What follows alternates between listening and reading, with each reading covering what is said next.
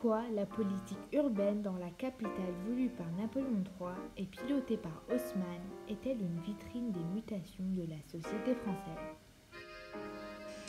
Lors du Second Empire, Napoléon III fait de la modernisation de la France une priorité de son régime. Il lance alors une ambition politique de grands travaux qui transforment profondément la France en un immense chantier pendant près de 20 ans. Il choisit pour cela Georges Eugène Haussmann, pour mener à bien un programme de rénovation urbaine massive appelé Rénovation haussmannienne de Paris. Le Paris de Haussmann commence tout d'abord par la volonté de désencombrer Paris, puis de faire circuler et d'assainir la capitale, et surtout de développer un réseau d'égouts. Les seuls inconvénients de ce projet monumental, c'est bien le bruit et la poussière. Par la suite, Haussmann décide que toute la transformation de Paris va reposer sur le Grand Axe.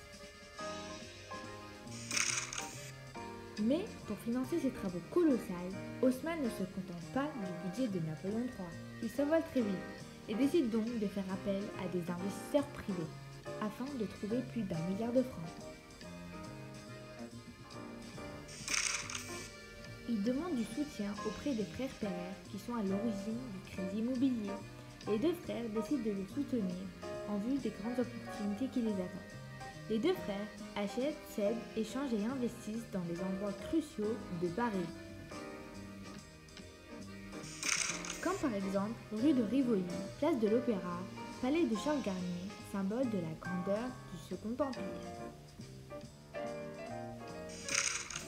Des immeubles haussmanniens sortent de terre à une vitesse hallucinante notamment la place de l'Étoile, qui est l'un des plus grands accomplissements de Haussmann, et qui met en avant les plus beaux avenues, bordées de trottoirs, ainsi que d'horloges et de fontaines, qui favorisent les promenades et les échanges entre les Parisiens.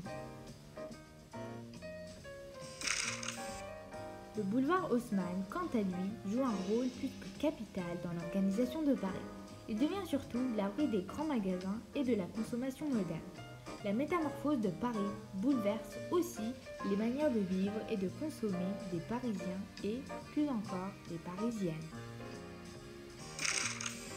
Paris s'embellit et devient donc une maîtresse de la France en termes de luxe et de la mode. Elle se transforme pour devenir la capitale de la mode que nous connaissons tous aujourd'hui. Et au milieu du 19e siècle, Haussmann diffuse de façon fulgurante l'éclairage au gaz.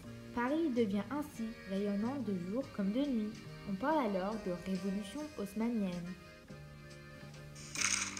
La politique urbaine dans la capitale voulue par Napoléon III et pilotée par Haussmann est une vitrine des mutations de la société française. J'espère que ça vous a plu et que c'est bien rentré dans votre tête. Bye